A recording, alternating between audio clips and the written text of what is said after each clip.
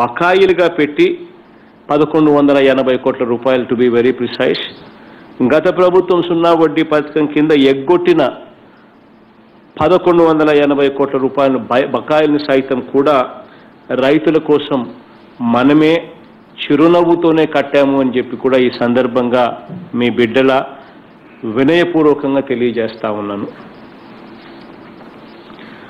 రైతులకు మరింత సులభంగా పంట రుణాలు అందించేందుకు వీలుగా పదివేల ఏడు వందల డెబ్బై ఎనిమిది రైతు భరోసా కేంద్రాలు ఇప్పటికే ఏర్పాటు చేయడం కూడా జరిగింది.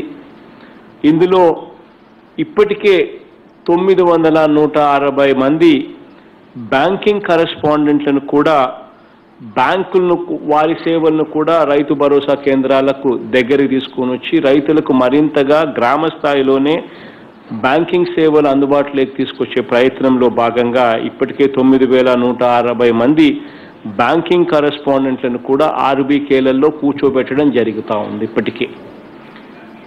ఇక మిగిలిన ఆర్బీకేలలో కూడా ఈ బ్యాంకింగ్ కరెస్పాండెంట్ల సేవలు అందుబాటులోకి తీసుకొచ్చే దానికోసం ఇప్పటికే బ్యాంకులతో ఇప్పటికే చర్చలు జరుగుతూ ఉన్నాయి. అతి త్వరలోనే ఈ కార్యక్రమం కూడా జరుగుతుంది. కౌలు రైతులతో సహా రైతులందరికీ కూడా బ్యాంకు లాభా లావాదేవీలు అన్నీ కూడా జరుపుకునేందుకు రైతుల పంట రుణాలు అందుకునేందుకు ఈ బ్యాంకింగ్ కరెస్పాండెంట్ల సేవలు ఆర్బీకేల్లో చాలా ఉపయోగపడతాయి. ఇది జరగాలి అని చెప్పి మనసారా కూడా కోరుకుంటా ఉన్నాను.